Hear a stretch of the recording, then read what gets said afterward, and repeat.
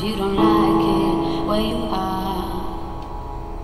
Three months is forever when the sun don't shine at all. You will be alive or you just breathe to pass the time. But you're so lucky, so lucky.